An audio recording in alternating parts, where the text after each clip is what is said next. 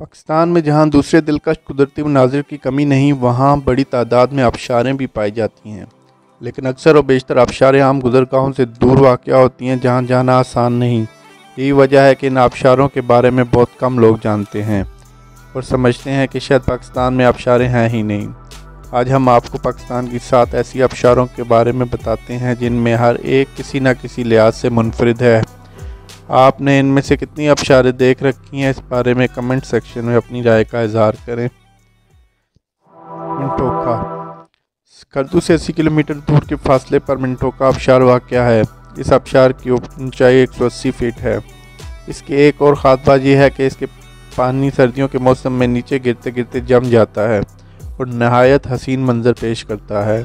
इस फहरिस्त में शामिल दूसरी आबशारों की तरह मिनटोका आबशार तक जाना मुश्किल नहीं।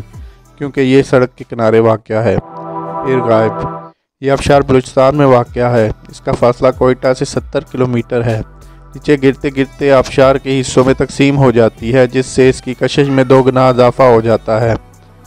मकामी रवायत के मुताबिक इस आबशार से मुतलिक एक लोक कहानी मौजूद है, जिसमें एक नौजवान दुश्मनों से बचने के लिए इस मकाम पर गायब हो गया, जिसकी वजह से आबशार का ये नाम पड़ गया। सज्जी कोट। सज्जी कोट आबशार एक नहीं, बल्कि तीन आबशारें हैं। पहले ऊपर एक छोटी आबशार है, जो एक छोटी सी नील को झील में गिरती है। फिर इस झील का पानी दो बड़ी आबशारों की शक्ल में नीचे बड़ी झील में गिरता है। अलबत् तेज़ बारिश के बाद दोनों आबशारें एक हो जाती हैं। ये आबशार चंद बरसों पहले ही मंजरेआम पर आई, जिसके बाद जहाँ सियाहों की भीड़ भाड़ होने लगी है। यह आबशार एबटाबाद के करीब हवेलियाँ तहसील में वाक़ है। धानी ये पाकिस्तान के जेर इंतज़ाम कश्मीर की सबसे ऊँची आबशार है। कश्मीर के दारकूमत मुजफ्फराबाद से अठतीस किलोमीटर की दूरी पर वाक़ है। शंगरई अबशार। वादी स्वाद के शहर मंगोरा से 18 किलोमीटर के फासले पर मंगोवार के करीब ये आबशार तकरीबन 70 फीट चौड़ी और 30 फीट ऊँची है। ये आबशार दरख्तों और सबसे से घिरी हुई है और इंतहाई दिलफ्रेज मंजर पेश करती है।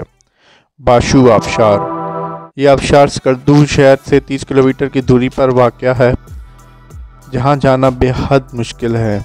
यारोगही आबशार यह आबशार भी स्वात ही में वाक़ है और इसका फासला मंगोरा से तिरपन किलोमीटर बनता है। बाद रिपोर्ट के मुताबिक ये पाकिस्तान की सबसे ऊँची आबशार है और इसकी ऊंचाई 400 फीट के करीब है।